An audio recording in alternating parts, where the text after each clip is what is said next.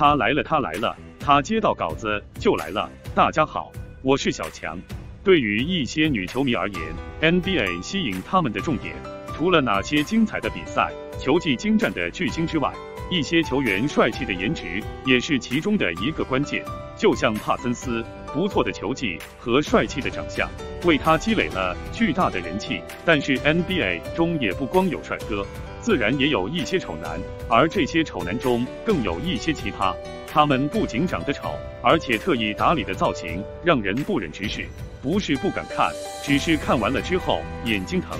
这名球员名字叫斯科特·波拉德，曾经是联盟中的一位板凳悍匪，还和詹姆斯做过队友。初入联盟时，虽然长得不算帅气，但是还算正常。可是谁知道，在零六年加盟骑士之后，这造型就开始跑偏了。看到他的这种造型，小编除了感觉辣眼睛外，还有一种胡子和头发是不是设计反了的错觉。作为姚明的同届新秀，古登大师这个造型设计如何？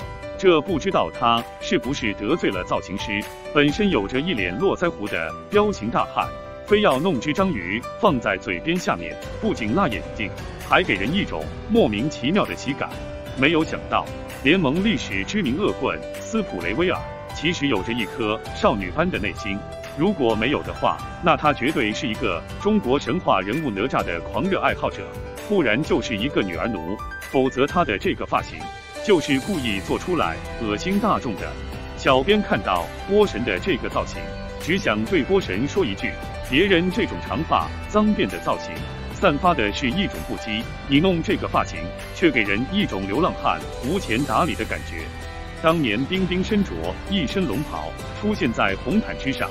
让媒体评价为将野心穿在了身上。不过和小佩顿相比，范冰冰的做法就有些不入流了，因为人家小佩顿直接将野心梳在了头发上，而且小佩顿对于中国文化还十分了解。就是小编想问一句，你就这么像荣登九五，不然怎么把头发弄得跟皇帝的帽子一样？如果这个发型出现在一个美少女身上，绝对给人一种萌萌哒的感觉。但是出现在一个又黑又壮的 NBA 球员身上是一种什么感觉？简直是丑出了天际。不过为什么看着他有点像贾玲呢？什么叫一个发型毁所有？问问海沃德，估计就会得到答案。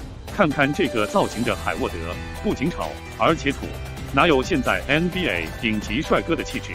再来一个波拉德的这造型，小编已经无力吐槽了，只能送上一个字丑。作为曾经的联盟顶级蓝领，诺阿的长相的确算不上丑，但是诺阿千万别笑，一笑的话就会出现上面的这种效果，简直是丑出了一种境界。特别是他那宽宽的牙缝，更是成为了他丑中的点睛之笔。如果说斯普雷威尔的哪吒头还勉强能看的话，那他旁边的这位队友就绝对堪称丑的无与伦比，已经达到了贴在室内辟邪。贴在门口避贼，贴在饭桌上减肥的地步了。And，他走了，他走了。右下角点个赞，再走啊，老板。